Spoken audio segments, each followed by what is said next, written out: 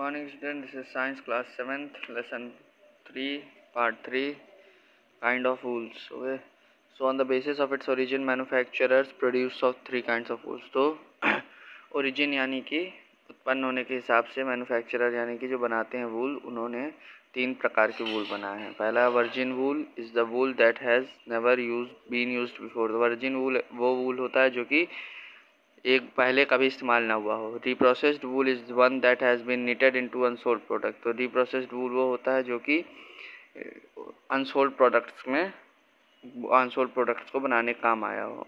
And then respun and reused wool is wool is that one has been made and use और worn then रीस्पन और तीसरा होता है reused वूल जिसका मतलब होता है कि जो रीयूज वूल होता है वो पह, पहले ही बनाया जा चुका है। मतलब स्वेटर स्वेटर आप बाज़ार से ख़रीद के लाए आपने पहना पहनने के बाद उसका इस्तेमाल किया दो साल तीन साल बाद उसको फेंक दिया।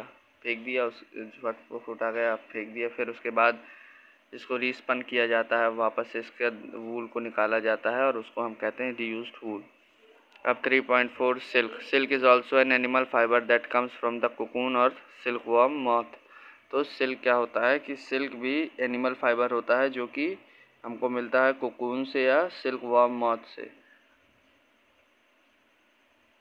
Silk is cess satiny smooth and white in colour तो जो सिल्क होता है, रेशम वो सैटिनी कलर होता है स्मूथ यानी कि चिकना होता है और सफ़ेद रंग का होता है कलर में। It is extremely high in tensile strength और वो उसकी जो स्ट्रेंथ होती है, वो बहुत ज़्यादा होती है। सिल्क इज़ मतलब उसको आप तोड़ नहीं सकते जल्दी। Silk is obtained by rearing silk worm moths silk हमको मिलता है सिल्क वार्म पालने से, ठीक है? Their eggs are placed in incubators and hatch into tiny black silk worm और कैटरपिलर्स तो और उनके अंडे क्या होते हैं? कि इनक्यूबरेटर्स में रखे रहते हैं और समय आने पर जब फूटते हैं तो उनसे काले सिल्कवाम और कैटरपिलर्स निकलते हैं। दीज सिल्कवाम और फेड ऑन मलबेरी लीव्स तो जो ये जो सिल्कवाम होते हैं, वो खाना खाते हैं कौन सी लीव से? मलबेरी लीव से।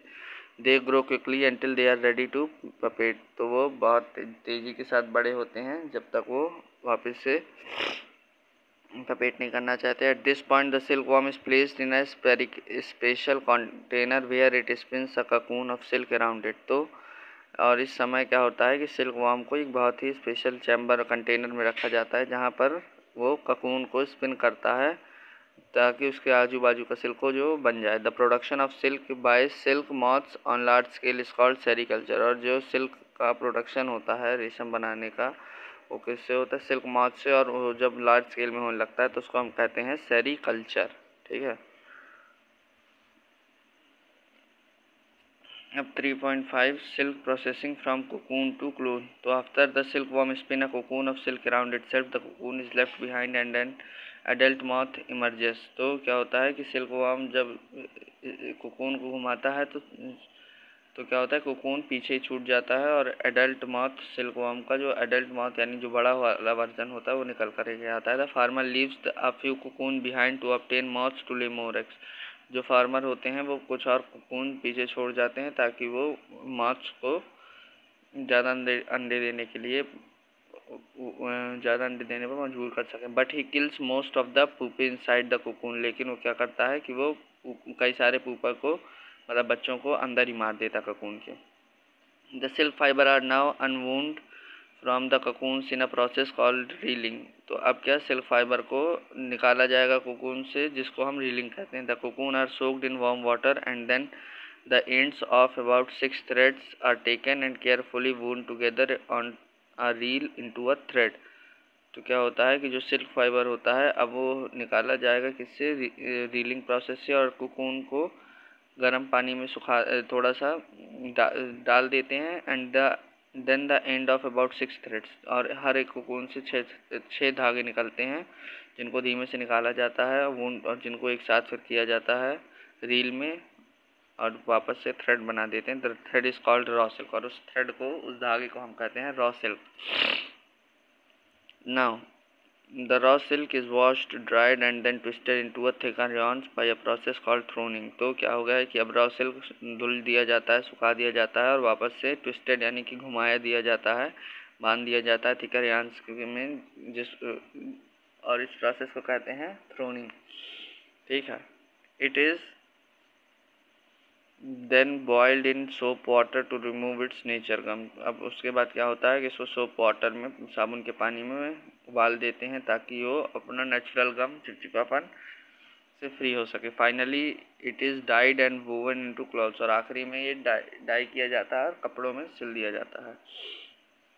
Identifying the silk burning is the best way to identify silk on burning silk will leave a powdery ash and will extinguish on its own when the flame is removed. It is it also burns with a smell of burning तो क्या होता है कि silk को कैसे पहचाने रेशम को।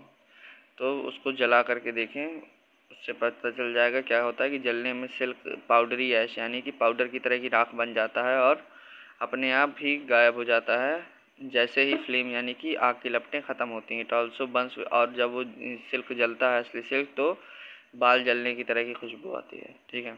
वेराइटीज़ ऑफ़ सिल्क तो nearly seventy varieties of silk moth with economic value have been identified so far तो तकरीबन सत्तर प्रतिशत सिल्क मॉथ की वैरायटी हैं, जो कि इकोनॉमिक यानी कि एक आर्थिक वैल्यू मतलब एक नॉर्मल वैल्यू पर पर आइडेंटिफाइड यानी कि पहचानी गई मतलब सत्तर प्रतिशत की हैं, जो कि अभी आराम से आदमी ख़रीद सकता है। But out of these only four varieties are considered worthy of silk production तो इन उन सत्तर में से सिर्फ़ चार वेराइटी ही सिल्क प्रोडक्शन के लायक होती हैं। These four main varieties are mulberry silk tussar silk muga Siri silk and eri silk चार तरीके की होती हैं और ये जो चार हैं उनके नाम है mulberry silk tussar silk muga silk और eri silk silk is produced then the most in silk industry and is further woven in different varieties. तो मलबेरी सिल्क जो होता है वो सबसे ज़्यादा प्रोड्यूस किया जाता है।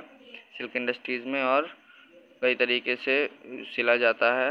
Such as plain silk Dhupia चक्र, matka, chiffon, creep, Murshidabad etcetera तो ये सारे जितने भी वर्जन हैं, ये सब मलबेरी सिल्क हैं, ठीक है? So here is chapter three is completed और next period this your exams will be your unit test next period I completed try to complete this chapter question answer and next we'll then we'll move to the next chapter so thank you